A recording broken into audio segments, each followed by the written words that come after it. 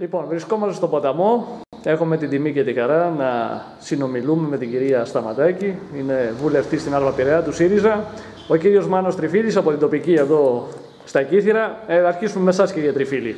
Έχουμε την επίσκεψη σήμερα. Βέβαια ο κύριος Λεωτσάκος μάθαμε ότι δεν ήρθε.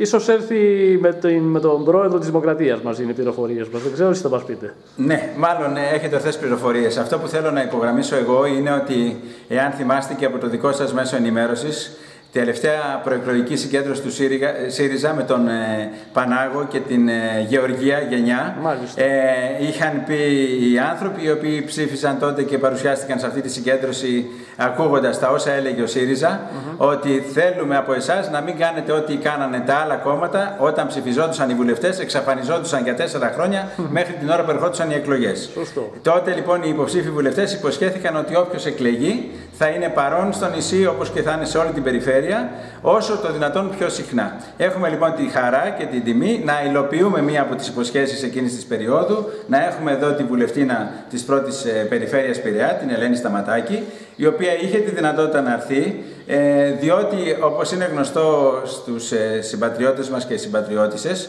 ο Θοδωρής Οδρίτσας έχει γίνει υπουργός Εμπορικής Ναυτιλίας και έχει ένα πολύ βαρύ καθήκον ε, και πολύ πυκνό πρόγραμμα, όπως αντίστοιχα και ο Στάθης ο Λεουτσάκος, ο οποίος είναι στην καθοδήγηση του Μάλιστα. κόμματος του ΣΥΡΙΖΑ και με αυτή την έννοια είναι πολύ δύσκολο να, να έρθει. Η Ελένη Σταματάκη μας κάνει την τιμή να είναι εδώ, παρά το φορτωμένο και δικό της πρόγραμμα, σε μια προσπάθεια να συλλέξει τις παρατηρήσεις των κυθυρίων για τα προβλήματα που αντιμετωπίζουν και να συνομιλήσει με όσους ενδιαφέρονται για την πορεία της χώρας μας και ειδικότερα του νησιού μας. Οπότε, αν θέλετε να δώσουμε το λόγο στην...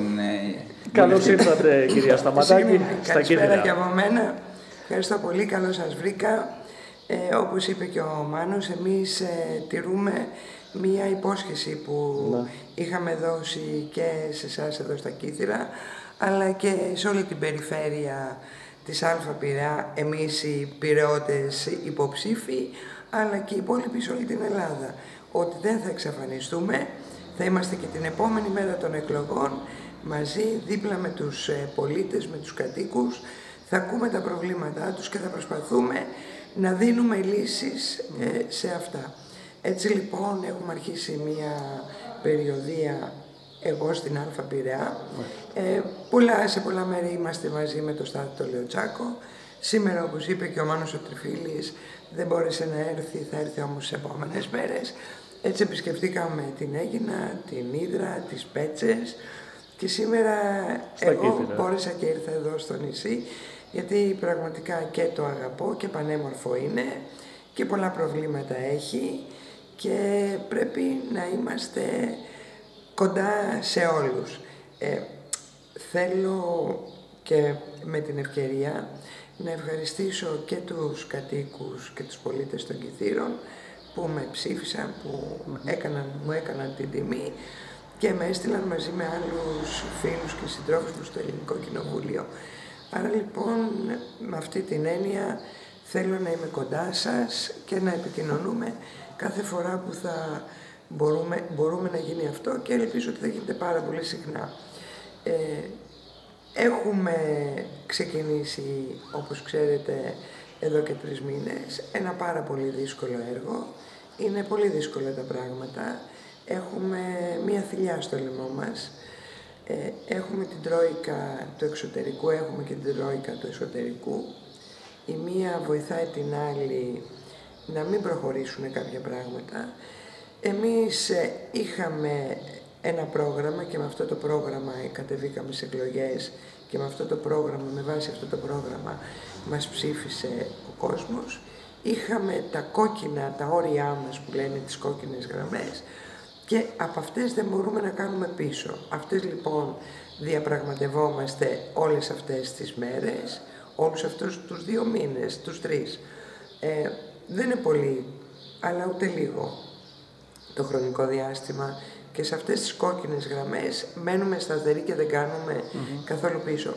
Παράλληλα, έχουμε νομοθετήσει, έχουμε ένα έργο, έχουμε ψηφίσει αρκετά νομοσχέδια και αρχίσαμε με αυτό το νομοσχέδιο της ανθρωπιστικής κρίσης. Ήταν το πρώτο νομοσχέδιο που ψηφίσαμε γιατί ε, οι μνημονιακές πολιτικές έχουν φέρει πάρα πολύ κόσμο στα όρια της ε, φτώχειας. Άρα λοιπόν το πρώτο μέτρο που θα έπρεπε να αντιμετωπίσουμε ήταν να ελαφρύνουμε τις ομάδες αυτές των πολιτών που έχουν θυγεί άμεσα. Έτσι λοιπόν έχουμε ψηφίσαμε την δωρεάν παροχή ηλεκτρικού ρεύματος, τον επισητισμό και την ε, επιδότηση του ενοικίου στις ε, πλέον ευπαθείς ομάδες που είναι κάτω από τα όρια ή στα όρια της φτώχειας. Αυτό ήταν ένα πολύ σημαντικό βήμα. Εγώ μάλιστα είπα την ημέρα που ψηφιζόταν το νομοσχέδιο αυτό στην ομιλία μου ότι αυτό θα έπρεπε να ψηφιστεί από όλες τις πτέρυγες της Βουλής γιατί πραγματικά ήταν η καρδιά της αντιμετώπισης της κρίσης και όταν έχεις να κάνεις με ανθρώπινες ζωές είναι πάρα πολύ σημαντικό αυτό. Το πρώτο λοιπόν νομοσχέδιο ήταν αυτό. Το δεύτερο είναι αυτό με, την, με τα κόκκινα δάνεια και την τακτοποίηση των 100 δόσεων. Ξέρετε ότι έχει βοηθήσει πάρα πολύ κόσμο. Μέσα σε αυτό το νομοσχέδιο εντάχθηκε ε, η δωρεάν, αν θέλετε, και η κατάργηση των 5 ευρώ που δίνανε οι άνθρωποι για να μπορέσουν να επισκεφτούν και να κάνουν νοσηλεία σε κάποια από τα νοσοκομεία. Ε, άρα, λοιπόν, Προτείνω να μην αναπτύξετε όλη την ομιλία ναι. γιατί θα την γράψει μετά ε, ο, ναι. Θα τα πούμε και δίπλα. Ο κύριος Πολίτης. Ε, είναι το νομοσχέδιο για την παιδεία, είναι το νομοσχέδιο για το σοφρονιστικό σύστημα, δηλαδή νομοθετούμε αυτή τη στιγμή και νομοθετούμε πάνω σε πολύ σημαντικά ε, θέματα που άπτονται της λειτουργίας του κράτους. Και αυτό είναι πάρα πολύ σημαντικό. Θεωρούμε δηλαδή ότι επαναφέραμε εργαζόμενους που είχαν ε, διωχτεί από τις δουλειές τους μέσα σε μια νύχτα, είχαν κάσει τις δουλειές τους. Αυτά λοιπόν είναι τα πρώτα μέτρα ναι. της κυβέρνησής μας. Ελπίζουμε ότι θα πάμε καλά στο τέλος στη διαπραγμάτευση, άρα θα έχουμε ένα μεγαλύτερο αέρα για να μπορέσουμε να εφαρμόσουμε το πρόγραμμά μας. Πιστεύω ότι θα ξεπεράσουμε και... το τούνελ τελικά, θα δούμε πώς έτσι. Θα το ξεπεράσουμε. Χαιρόμαστε πολύ αισιόδοξοι και εγώ θα κρατήσω την υπόσχεση θα έρχομαι τακτικά στο νησί. Ε, Όπως είπε ο κ. Τριφίλη, χαιρόμαστε που σας είδαμε σε μικρό χρονικό διάστημα μετά τις εκλογές και είστε στο νησί μας. Αυτό είναι πολύ παρήγορο. Και να το συνεχίσετε. Διότι πραγματικά αυτό κάτι δεν το, δεν το είχαμε δει από τους προηγούμενους. Ευχαριστώ πάρα πολύ. Ε, θα έχουμε την ευκαιρία να τα πούμε και δίπλα, θα έχετε μια συζήτηση με τον κόσμο. Ναι. Θα ήθελα να σταθούμε λίγο στο νησί μας. Ε, δεν ξέρω αν προλάβατε σήμερα να κάνετε μια περιοδία, να ε, επισκεφτήκατε το Δήμο, κάποιες υπηρεσίες ή αν θα το κάνετε αύριο αυτό μάλλον. Ε, θα, ε, σήμερα ήρθαμε αργά, Μάλιστα, δεν, δεν προλάβατε. έχουμε μπορέσει ακόμα να κάνουμε τις επαφές. Όμως αύριο έχουμε ένα πρόγραμμα, θα δούμε βασικά όλες τις υπηρεσίες, όλες τις υπηρεσίες του Δήμου αρχίζοντας από το Δήμο μέχρι τον τελευταίο φορέα ε, του, του νησιού, του ναι, ναι. Δημοσίου. Ε, εγώ ξέρω αρκετά από τα προβλήματα του νησιού, γιατί ναι. ε, τα παρακολουθώ αρκετά χρόνια και ακριβώς ήμουν και ένας άτομο μέσα στα προβλήματα, με ενδιαφέρε πάντα η κοινωνική ζωή, άρα πολλά προβλήματα τα ξέρω, όμως ε, είναι καλό να τα ακούσουμε από τους ίδιους τους κατοίκους και τους ε, ε, όσους ασκούν αυτή τη στιγμή, έχουν την εξουσία ε, των φορέων αυτών στα, στα χέρια τους, να μπορέσουμε να τα κουβεντιάσουμε καλύτερα και ελπίζω ότι σε αρκετά από αυτά θα μπορέσουμε να βρούμε λύσεις. Χαιρόμαστε. Θα, θα τα πούμε και δίπλα τώρα. Να είστε καλά. Ευχαριστούμε πάρα πολύ. Καλή διαμονή στο νησί μας αυτές τις δύο μέρες. Πολύ. Να είστε καλά. Ευχαριστώ πολύ.